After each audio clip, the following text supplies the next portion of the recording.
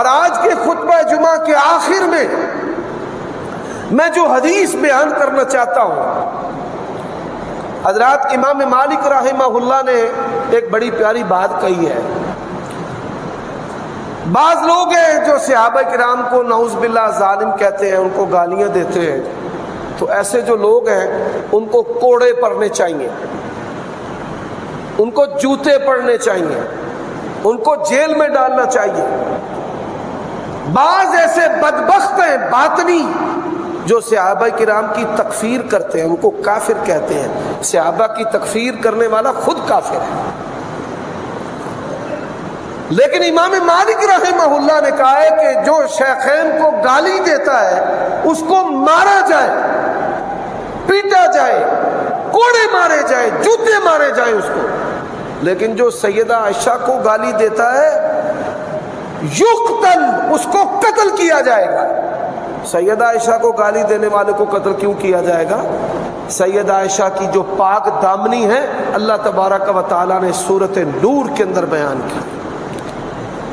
वो कुरान का मुनकिर है, और कुरान का मुनकिर जो है, उसकी सजा कत्ल। हजरात, अब इसकी तफसील भी अर्ज़ करता हूँ। मुनाफिकीन जो है, वो हर वक्त इस आड़ में, वार में होते थे कि कब नबी सलाम को तकलीफ़ दी जाए, आपके घराने को तकलीफ़ दी जाए। गजवा बनिल मुस्तलिक, नबी सलाम सैयदा आयशा को साथ लेकर गए। सैयद आयशा फरमाती हैं, पतला सा मेरा वजूद था हल्का फुल्का लड़कियों की तरह, हौदज में बैठी थी हौदज उठाते थे, ऊंटनी के ऊपर उसे कस देते थे। कदाए हाजत के लिए गई। उन्होंने हौदज उठाया, ऊंटनी पर कसा और नबी सलाम और सहाब किराम ने कूच कर लिया। और जो ये दावा करते हैं, हम पोशीदा चीज़ों को जानने वाले हैं। हज़ार जूता मारकर इनको एक गिनना चाहिए।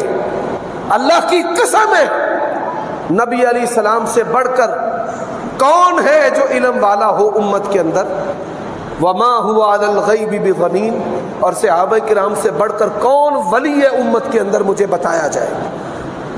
वलियों को नहीं पता कि हम अपनी माँ को छोड़कर जा रहे हैं। और नबी अली सलाम के इलम में नहीं है कि मैं अपनी बीवी को छोड़कर जा रहा हूँ। और सोचो, गौर करो, कब तुम्हें होश आएगी? ये इल्म गैब के चक्कर में लोगों ने तुम्हारी इज्जतों को लूट लिया, मालों को लूट लिया, तुम्हारे जानों को लूट लिया तुम्हारी आँखें अब भी नहीं खुल रही कि आलिमुल गैब कौन है? अल्लाह तला की ज़ात है, अल्लाह की ज़ात है। एक महीना तक अल्लाह के नबी तकलीफ़ में रहे, क्या करूँ? छोड़ दूँ या ना छोड़ूं? हज़रत अली उन्होंने नबी सलाम के गम को हल्का करने के लिए कहा, या रसूल अल्लाह बड़ी औरतें आप क्यों परेशान होते हैं? नबी सलाम मशवरे करते हैं, घर की खादमाओं से, कभी किसी से, कभी किसी से। हज़रत उमर रदी अल्लाह तनो इनसे मशवरा किया सल्लल्लाहु वसल्लम ने। और एक माँ प्यारे नबी परेशान रहे हैं। और तुम किस मुँह से कहते हो कि डब्बे पीर को भी गैब का इलम है? एक माह तक प्यारे नबी गमगीन रहे हैं। एक माह तक किसी सिहाबी को ज़रूरत नहीं थी रसूलुल्लाह से बोले भी। तुम किस मुँह से कहते हो? तो नबी सलाम ने हज़रत उमर से मशवरा किया। हज़रत उमर रज़ी अल्लाह उन्होंने कहा, या रसूल अल्लाह ये वचोला कौन है? वचोला रिश्ता किसने करवाया है? रसूलुल्लाह ने फरमाया कि मुझे ख्वाब आई थी, रिश्ता तो अल्लाह ने करवाया है। फरमाया, जब रिश्ता रब ने करवाया है, रब जाने तो फिर कम जाने तुम गम ला दे नबी इस्लाम ने फरमाया, अल्लाह ने कहा इन नहा जऊजत का फिर दुनिया ए नबी, ये दुनिया के अंदर भी आपकी बीवी है, ये जन्नत में भी आपकी बीवी है। ये सैयद आयशा, आपका जिसम मुबारक है। अल्लाह के नबी का सर है। रसूलुल्लाह सल्लल्लाहु अलैहि वसल्लम के बारे में वो क्या कहती हैं? तूफिया रसूल सल्लाम फ़ी बई थी जब अल्लाह के नबी फौत हुए, घर मेरा था, बारी मेरी थी, और बदन बैना नहरी व सहरी, मेरे जिस्म के ऊपर रसूलुल्लाह का सर था, बैना नहरी व सहरी, रसूलुल्लाह फौत हुए। और देखो इस माँ की शान के क्या कहने, जब अल्लाह के नबी ज़िंदा, तब भी रहमत फरिश्ते आयशा के हुजरे में आती थी। अब दुनिया से अल्लाह के नबी चले गए हैं। अब भी उम्मत के सलाम और फरिश्तों के सलाम आयशा के हुजरे में जाते हैं। कोई शिया है, या सुन्नी है।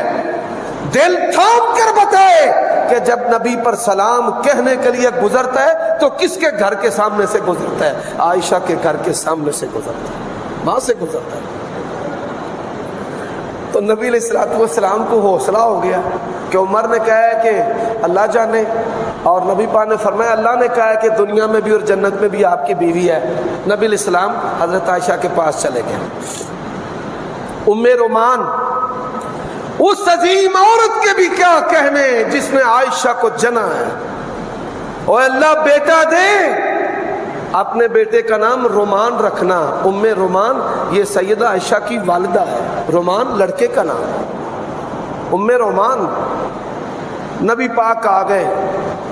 फरमाया आयशा अल्लाह की कसम है, दिल जैसे ना फटने फटने को कर रहे हैं, लफ्ज सुने। फरमाया आयशा अगर कोई गलती हो गई है, माफ़ी मांग ले। आयशा की शान के क्या कहने?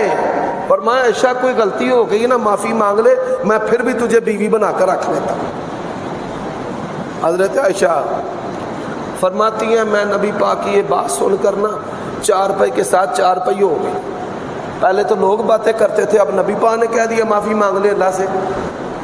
सुबहान अल्लाह वो कहती है, मुझे चुप्पी ला गई रसूलुल्लाह वही पर खड़े थे।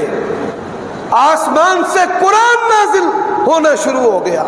सुबहानक और देखो, कुरान के अंदर एक ही मुकाम है सुबहान अल्लाह हम कहते हैं, अल्लाह तू पाक है, अल्लाह ने अपनी पाकी वाला लफज लाकर जो है, यहाँ पे हज़रत आयशा की पाकी को बयान किया है। सुबहानक, ऐ मेरा रब पाक है, तू पाक है।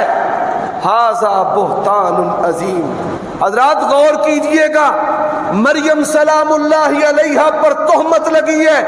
हज़रत ईसा बोले नबी की बीवी आयशा पर तोहमत लगी है, हमारा रब बोला है। अल्लाह ने कहा है, हाजा बोहतान नजीम ये बड़ा बोहतान है। जब अल्लाह के नबी ने आते पढ़ी, अम्मा आयशा तेरे अकीदे के भी क्या कहने अम्मा आयशा, आयते पढ़ी, वालदेन ने कहा, उठ अल्लाह के नबी का शुक्रिया अदा कर। सैयद आयशा कहती है, मैं अल्लाह का शुक्रिया अदा कर। किसका? अल्लाह का। अल्लाह का शुक्रिया अदा करूँगी। जिस रब ने आसमान से मेरी बरात नाजिल की है, हजरात, अपनी बेटियों के नाम रखना बार बार रखना, ये अहल सुन्नत का शियार है। अल्लाह जब तक ज़िंदा रखे, सैयद आयशा की मोहब्बत पर ज़िंदा रखे और इन्हीं की मोहब्बत पर मौत नसीब फरमाए। व आखिर दावाना अलहमदिल्ला